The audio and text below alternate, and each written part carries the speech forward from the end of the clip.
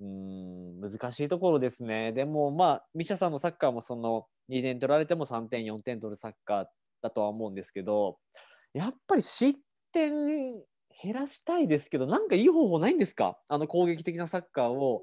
やりつつ失点抑えていくっていう別に守備の意識が薄いわけじゃないじゃないですか別にコンス薄くないね。まあ、むしろしっかり前から行って強くいこうっていうのはチーム全体でできてはいるけど、うん、まあ、ただ、えっ、と、まあ、福、弘樹、まあ、田中俊太もそうだけど、ちゃん、ちゃんとしたっていうか、もうセンターバックらしいセンターバックじゃないっていう、まあ、確かに。とこはあると思うんだよね。で、うんと、も、もちろんそれを補うプラスアルファってすげえいっぱいゲームの中で出してくれてるし、攻撃の面で特に。まあ、ひろきなんてね、ビルドアップから、まあ、全体のバランス見ながら、すげえ大きな役割示してくれてると思うけど、まあでも言ってもやっぱ J1 のストライカーとかフォワードって、まあ、この間の F 当戦とかもそうだったけど、まあ、強烈なね、選手多いし。強烈すぎる。本当に。そう、だから、もちろんそういう攻撃的なセンスとかテクニックを持ち合わせた選手で、えー、センターバックとしても守備の方もすごかったら、もうそれは日本代表クラスで、本当そうですよね。海外でプレーできるっていうレベルの話になってくるから、いや確かにもちろんそういうものを目指した方がいいとは思うんだけど、まあ、少しやっぱりそういうところがあなんだ、難しいな。すげえ外人とかに、うんたくさんのスペースを与えると、やっぱり毎試合、こう、失点をしてしまうのは1点ぐらいは覚悟の上、それ以上の得点力、攻撃力でものを、うん、価値をものにするっていうスタイルのが、スタイルなのかなっていう気はするね。まあ、もうそこで行くしかないですよね。でも本当に見てても、その宮澤選手のあの存在感であったりとか、福森選手もまあ攻撃参加、点も取ってますし、うん、田中選手もね、金子選手がカットインした時とか、もうペナルティーエリアまでスプリントかけてますからね、オーバーラップして。センターバックがおとりの動きに使われてる、ね、おとりの動きに使ってるから すげえすごいそんなまあ、ずっとミシャさんのサッカーってあの、まあ、進藤選手とかがねいた時からそうだったと思うんですけど両センターバックの攻撃参加とか、うん、すごい貢献度だなと思っててただやっぱりね守備のところで全然みんな守備能力もあるとは思いますしあの別にサボってるわけでもないんですけどやっぱりどうしても失点してしまうところなんとかね改善できないとやっぱり攻撃的なあその強力なフォワードであったりとか攻撃の崩しが素晴らしいチーム相手だとどうしてもね、複数失点してしまうっていうところは、まあ、後ろに人数は結構いるんですよね。しっかりブロック組んで、あの、うん、守備はしてはいるんですけど、最後のこぼれ球の時に外してしまって点取られたりとか。まあそういうのって、うん、チーム戦術とかとはもう別だからね。うん、選手個人の、うん、と、なんだろう、能力とか、周りを見る目とか、粘り強さとか、なんかそういうのはなんか戦術の外側にあるもんだから。まあ確かにそうですね。うん、まああと、あの1失点目で言うと、多分田中俊太と金子が、金子選手が入れ替わってたのかな。うん、そう、ね、あれ見えてなかったと思うんだよね、こぼれ球、はい、詰めたやつ。そうですね。まあそういうとこの、なんかコミュニケーションとかで、うん、言ってるぞ、一言もし耳に届いてたら、防げたかもししれない失点だったから、なんかその辺は、まあ、よくゴール前とかでもさ、こぼれてこないだろうじゃなくて、なんか、こぼれてくるだろう、なんかストライカーの選手とかもよく言うじゃん。はい、はい、いつでも狙ってるっていう感覚がやっぱり、ディフェンスでも必要なのかなっていう。そうですね。いや、なんか、あの、人間って無理なんですかね？なんかあの2つのことを同時に全力でやるって例えば僕もウイングバックとかワイドやること多かったんですけどあの、うん、ドリブルとか攻撃のことばっか考えて自分の良さ出そう出そうと思うとやっぱりどうしても守備ちゃんとやらなきゃっていうのは分かってるんですけどちょっと意識薄れるんですよね。で逆にいやちょっと守備しっかりやろうやろうと思ったら守備できるんですけどあ攻撃全然いってないみたいな時があるあるんですけどよくあったんですけど、まあシャドウの時とかもそうなんですけどなんか両方まんべんない意識を持つ持ってプレーすることって人間って不可能なんですかね？どう思いますあれ？いや不可不可能じゃないんじゃない？あれできるのかな、まあ それができる人が多いチームが強いっていうのはあるんじゃない、まあ、いやまあシンプルそういうことですよね。うんいやあれもう一生かの課題だと思うんですよね人間の同時に2つのことをなんか同じクオリティでやるのが相当大変というか。まあだからきっとそういうのを、うん、2つ同時に同時にやろうとすることがうんミシャさんミシャさん流のうんマンツーマンディフェンスがそれに近いと思うんだよね。もう同時にそれを行ってしまう。うん、相手コートでマンツーマンでつくことで、えーそこで奪ってももう一回攻撃にするっていうのはなんかそれを 同時に行う一つのやり方なのかなとは思うけどまあとはいえね、えー90分フルコートじゃないフルコートじゃない相手コートで全部やるのは難しいからああいうシーンは出てきちゃうよね。うんマンツーマンディフェンスってずっと前からやってます？ミシャさんって。うんとね、考えのベースにそういうものがあるとは思う。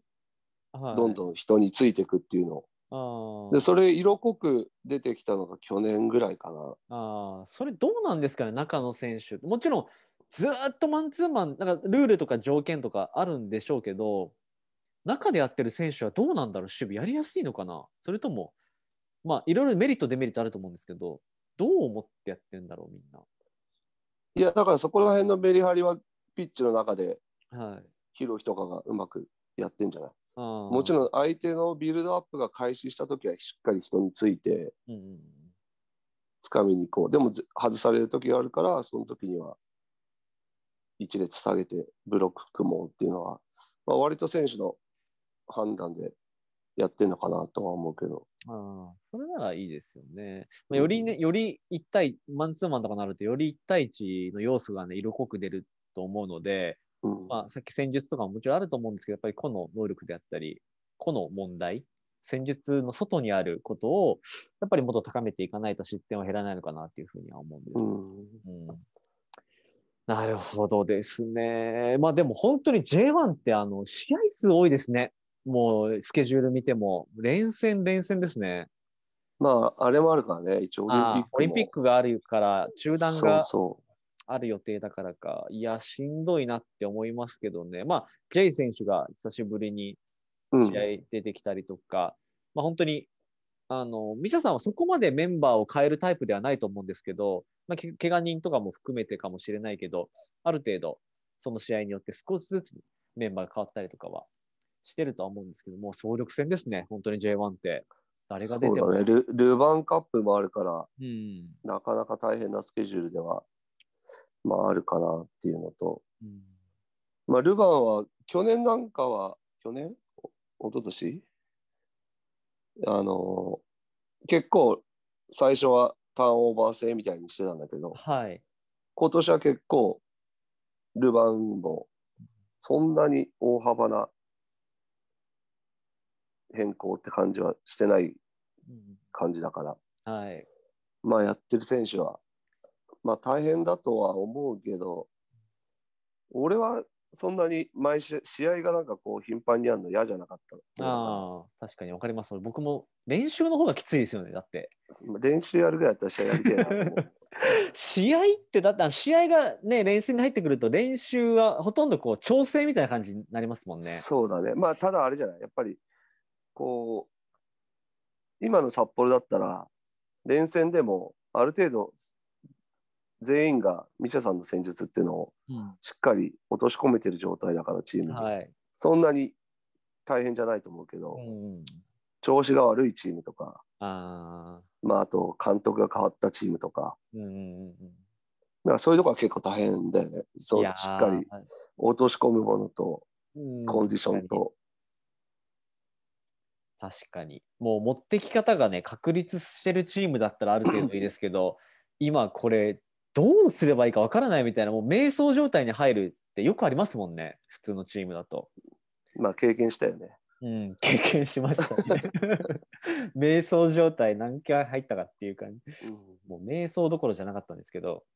まあいい思い出ですよ、本当に。ただ、まあしそうですね、試合でそのリカバリーする、改善する時間がん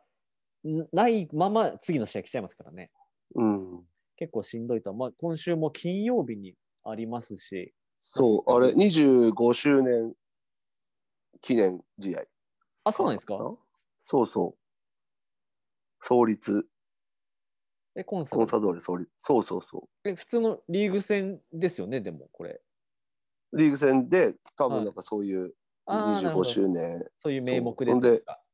そう。で、なんか、あのーち、なんだっけ、オフィス級の鈴井さんとか、はいはいはい。加藤浩二さんとかが来るって。えー、そうなんですね。そうそう。25周年、そうそう、この間の試合でもね、解説の人とか言ってましたけど、いや、僕がいた時に15周年みたいな感じで盛り上がってた記憶があるあって、あ、本当。うん、それでなんか僕、いや、これ僕詳しく聞いてないんですけど、コンサドーレ15周年の年に僕15番与えられたんですよ。だからなんか、そういう意味だぞ、的な感じで